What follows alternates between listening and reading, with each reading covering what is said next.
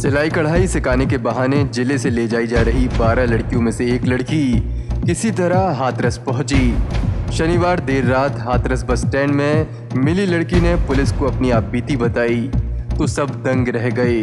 सभी लड़कियों को किसी जगह पर कमरे में बंधक बनाकर रखा गया था। किसी तरह निकलकर वह दो दिन में चलते हुए हाथरस पहुँची। हाथरस पुलिस ने मंडला पुलिस के ज़रिए लड़की के स्वजन को सूचित कर दिया है। हाथरस एसपी विनीत जायसवाल के अनुसार शनिवार की देर रात बस स्टैंड पर एक लड़की के बैठे होने की सूचना पुलिस को मिली। साढ़े सत्रह वर्षीय लड़की ने कोतवाली सदर पुलिस को बताया कि वह मध्य प्रदेश के जिला मंडला के गाँव डोंगर की रहने वाली है। एक सप्ताह पहले सौजन की सहमति से गाँव की करीब बारह लड़कियों को एक व्यक्ति सिलाई कढ़ाई का काम सिखाने का कहकर दिल्ली ले जा रहा था। रास्ते में लड़कियों को किसी शहर में बस स्टैंड के पास कमरा किराए पर लेकर रखा गया था। उसे उस जगह का नाम पता याद नहीं है। तीन दिन तक एक ही जगह रहने पर दिल्ली ले जाने वाले शख्स पर कुछ शक हुआ तो वह किसी तरह वहाँ से भाग निकली। लड़की ने बताया कि पिछले दो तीन दिन से चलते हुए कल यहाँ तक पहुँची है। पुलिस ने उसके सौजन से संपर्क किया। लड़की के पिता ड्राइवर हैं। उन्होंने भी सिलाई कढ़ाई के लिए दिल्ली भेजने की बात बताई। पुलिस सौजन के आने का इंतज़ार कर रही है। एसपी ने बताया कि इस प्रकरण की जाँच सीओ सिटी को सौंपी गई है। सर हाथरस में बारह बच्चियाँ मिली हैं ऐसी कोई जानकारी लग रही क्या है सर इसमें देखिए जो आ, हम लोगों को सुबह मामला संज्ञान में आया था तब से हम लोग लगातार हाथरस जिला पुलिस और वहाँ के एसपी साहब के संपर्क में हैं। दो बार मेरी खुद भी बात हुई है उनसे। ये जो बारह बच्चियों का जो बातें चल रही हैं, इनकी अब तक पुष्टि ना तो हाथरस एडमिनिस्ट्रेशन कर रहा है और ना ही मंडला एडमिनिस्ट्रेशन करता है। वास्तविकता जो अब तक हमारे संज्ञान में है, वो ये है कि वहाँ एक बच्ची मिली है रात में, बस स्टैंड के पास, हाथरस में। वहाँ के स्थानीय लोगों ने देखा, उसे जब अकेला तो पुलिस को सूचना दी है, उसे वहाँ के कोतवाली थाने में अभी रखा गया है। उस लड़की ने अपने आप को मंडला ज़िले का होना बताया है। जो हाथरस पुलिस है, उसका उसके परिजनों से भी संपर्क हो गया है और वो लोग भी वहाँ हाथरस पहुँचने वाले हैं, निकल चुके हैं यहाँ से। इसके साथ ही चूँकि मामला हमसे जुड़ा हुआ है तो हम यहाँ से एक महिला सब इंस्पेक्टर के नेतृत्व में अपनी टीम भी भेज रहे हैं हाथरस, ताकि इस पूरे प्रकरण को और डेवलप किया जा सके, इसकी वास्तविकता जानी जा सके। लेकिन अब तक जो हमारे पास जानकारी है, वो मात्र एक लड़की की है, जो कि वहाँ के कोतवाली थाना क्षेत्र में सुरक्षित है। बच्ची के परिजन से किसी भी प्रकार से कोई कांटेक्ट हो पाया है? बच्ची के परिजनों से संपर्क हाथरस पुलिस ने किया है और क्योंकि वो सुबह ही यहाँ से रवाना हो चुके थे तो हमारा डायरेक्ट संपर्क नहीं है लेकिन हाथरस पुलिस लगातार उनके संपर्क में है सर आगे और खुलासे हो सकते हैं सर? देखिए मैंने वही कहा कि अभी क्योंकि बच्ची वहाँ पे है तो अ, महिला अधिकारी के सामने उसके क्या स्टेटमेंट होते हैं मजिस्ट्रेट के सामने क्या स्टेटमेंट होते हैं उसके माता पिता वहाँ पहुँचने के बाद क्या बातें बताते हैं और जो हमारी टीम यहाँ से पहुँचेगी वहाँ से क्या तथ्य निकल के आते हैं इसके साथ ही हमें यहाँ पर जिस क्षेत्र की जानकारी लगी है जहाँ की लड़की होना पाया गया है तो हमने वहाँ भी अपनी टीम भेजी है कि क्या और भी ऐसी लड़कियाँ हैं जो पिछले एक हफ़्ते दस दिन में यहाँ से गई हैं तो इन सभी बातों को ध्यान में रखते हुए क्या तथ्य निकल के आते हैं उस हिसाब से हम आगे इसमें बता पाएँगे और आगे की कार्रवाई होगी सर अब तक क्या पता चल पाया मंडला के किस क्षेत्र से है ये लड़की मिली?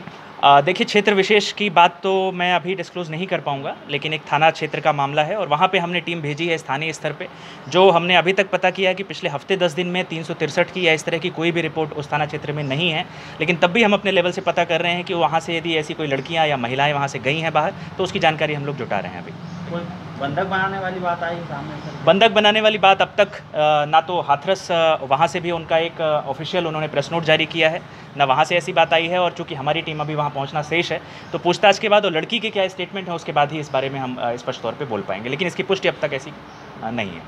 थैंक यू ये हाथरस में बारह बच्चियों के हमारे बच्चों के बाहर आने की बात सामने आ रही क्या कहना चाहिए इस अ, मुझे भी अ, सोशल मीडिया के माध्यम से ये बात पता चला है जिसमें जहाँ तक मैंने पता किया अपने तरीके से कि दिल्ली के आसपास में मंडला की 12 लड़कियाँ लड़कियों को बंद किया गया था। उन बंद लड़कियों में से एक लड़की वहाँ से भाग के आई और तीन दिन बाद वो हाथरस पहुँची थी। वहाँ पर पहुँचने के बाद में पुलिस ने उनको पकड़ा है। वहाँ की पुलिस जो है सिर्फ़ एक लड़की की पुष्टि कर रही है लेकिन हमारे यहाँ से तो बारह लड़कियाँ गई हैं जिसकी बात कर रहे हैं। ये एक बहुत गंभीर मामला है। गंभीर मामला इसलिए है कि वो लड़की हाथरस में पकड़ा गई है वहाँ पर पूरी मीडिया थी इसलिए मीडिया ने इसको संज्ञान में लिया है। लेकिन बाकी लड़कियाँ कहाँ गई हैं कैसे उनको भागने की नौबत आई है ये स्पष्ट रूप से जैसे ही मुझे ये पता चला मैंने तुरंत मंडला कलेक्टर मंडला एसपी को मैंने कहा ये चीज़ के लिए कि ऐसा मामला आ, सोशल मीडिया के माध्यम से संज्ञान में आया है। इसकी तुरंत आप वहाँ पर जैसे भी करके प्रशासनिक स्तर पर शासन स्तर पर बात करके उसको बिल्कुल गंभीरता से लेके उसको संज्ञान में लीजिए।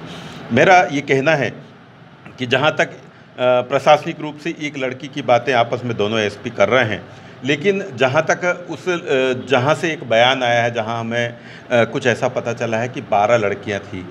एक बहुत एक गंभीर मामला है मंडला के लिए कि बारह लड़कियाँ वहाँ गई कैसे हैं। जो ये कोई व्यक्ति लेके गया था सिलाई कढ़ाई के बहाने और वहाँ पर बंद करके रखा था, बंद करके रखने के बाद में वो भागने में कामयाब हुई। उसके बाद वो वहाँ पहुँची।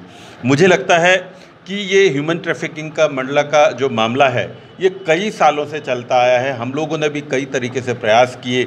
बीच में ही इसी कोरोना काल में यहाँ पर जो महाराजपुर क्रॉसिंग मंडला में ऐसे ही करीब पंद्रह लड़कियों को हम लोगों ने पकड़वाया था। उसमें पुलिस, एसपी को भी हमने संज्ञान में लिया था। और महाराजपुर थाने में भी हमने केस दर्ज करवाया था हमारे कुछ सामाजिक संगठनों के माध्यम से। लेकिन वहाँ पर उस पूरे मामला को रफा दफ़ा इस आधार पर कर दिया गया कि आ, उनके परिजनों ने कोई कंप्लेंट नहीं किया। लेकिन